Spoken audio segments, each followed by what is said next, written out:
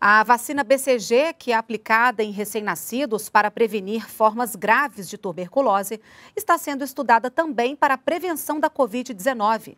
No Rio de Janeiro, a vacina será aplicada em mil profissionais de saúde que vão passar por monitoramento para coleta de dados. A pesquisa conta com investimentos de um milhão de reais do Fundo Nacional de Desenvolvimento Científico e Tecnológico. Estudos já existentes mostram que a BCG, obrigatória no Brasil desde 1976, é eficiente contra outras infecções respiratórias.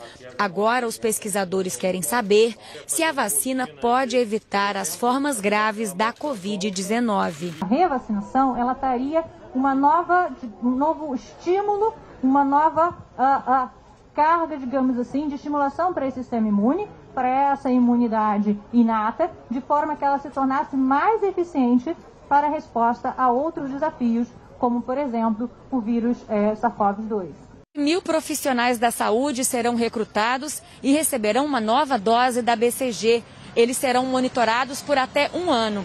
A ideia não é substituir a vacina contra o coronavírus, e sim aumentar a imunidade dos pacientes. Ressaltou a importância da ciência Segundo, que ressaltou a importância da união, para que a gente trabalhe junto para conseguir resolver esse, esse problema. Também foi inaugurado um laboratório de campanha na UFRJ, com capacidade de realizar 300 testes por dia do tipo PCR. Ao todo, o país terá 13 laboratórios de campanha que contaram com investimentos de 35 milhões de reais do Ministério da Ciência, Tecnologia e Inovações.